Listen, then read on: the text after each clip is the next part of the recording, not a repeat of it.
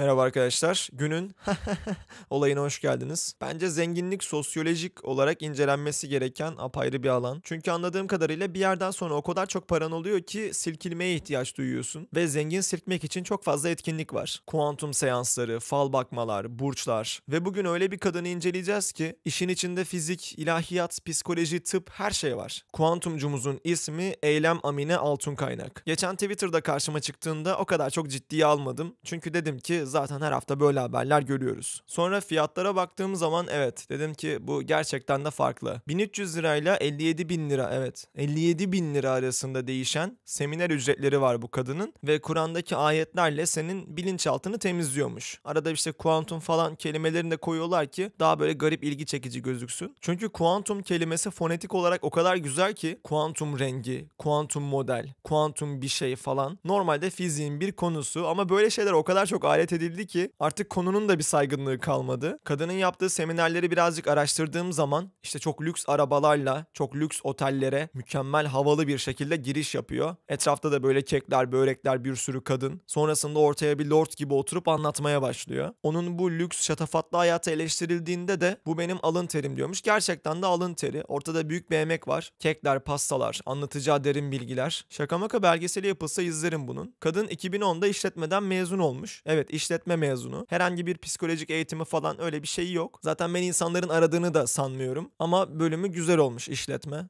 Evet şu an yaptığı iş için gayet uygun. İşini kur paketleri var. Mesela 13'lü paket 57 bin lira arkadaşlar. Şimdi birazdan daha toplumsal, sosyolojik meselelere değineceğim. Ama öncesinde şunu söylemek istiyorum. Bu kadın gayet zeki bir kadın. Zaten zengin sirkmek bir yetenektir arkadaşlar. Ben bunu o falcılar için falan da söylüyordum. Falcılarda bir sıkıntı yok. Onlar sadece avlarının peşindeler. Avlarını buldukları zaman da yapıştırıyorlar. Bu kadın da kendine böyle bir yol bulmuş. Asıl sorun burada bu kadar bir talep olması kadının yaptıklarına. Çünkü bu serbest piyasa. Mesela insanlar şey demiş. Bunu kapattıramıyor muyuz? Engelleyemiyor muyuz? Kadın burada yalan söylüyor. Şöyle böyle insanları silkiyor falan. Arkadaşlar bunu yapamıyoruz tabii ki de ve yapmamıza gerek de yok. Kadın muhtemelen vergisini falan da veriyordur. Alan memnun, veren memnun. Burada herhangi bir problem yok. Şimdi burada mesele arz talebe göre işlediği için asıl sorulması gereken soru neden böyle bir arz var? Kadının hitap ettiği kesim çok net bir şekilde orta ve üst segment. Hatta orta segment diyemeyiz. Direkt olarak zengin kesime hitap ediyor. Burada mesela iş kur paketinden bahsetmiştim. 57 bin liralık yıllık. 57 bin lirayı şu an bana versen yani bu mesleğim olmasa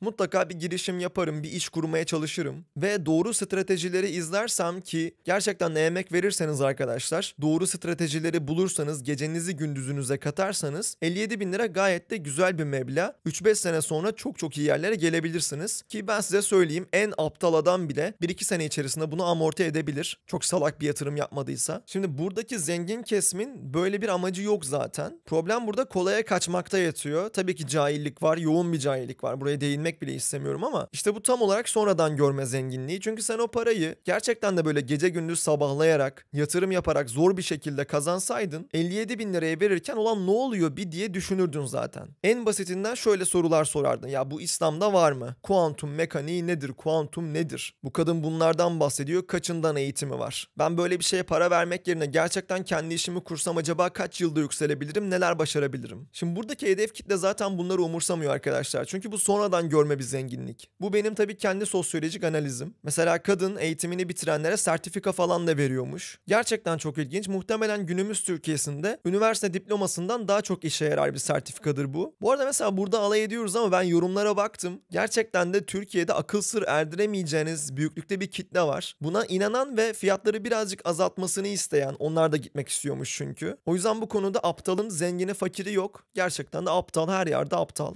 Bir tane yorumda şey yazıyordu hatta abla birazcık fiyatları indirir misin? Bu parayı ödeme şerefine nail olamadım falan yazıyordu. Ya Yapma be koçum be. Bu beyin yıkama da değil arkadaşlar. Bu beyni yıkanmış insanlar zaten. Yani bu insanların üzerinde ekstra bir şey yapmanıza gerek yok. O kadının seansına giden herhangi biri oraya ne olursa okey şeklinde gidiyor. Çünkü hiçbir şeyden haberi yok. Siz yine bu falcılara, kuantumculara gitmeye devam edin. Onlar lüks hayatlar içerisinde yaşarken sizden söğüşlediği paralarla siz de ya şu ağrım niye geçmedi, şu bilincim niye boşalmadı diye ağlamaya devam edersiniz. Ama bugün o yüzüne bakmadığınız bilim ve tıp gerçekten ihtiyacınız olduğu olduğunda kapınızı çalacak ve merhaba bir ihtiyacın var mı diyecek. Ve sen silkilmeyi bu kadar seven mahlukat yine ona sarılacaksın. Umarım o da sana sarılır. Bugünlük bu kadar.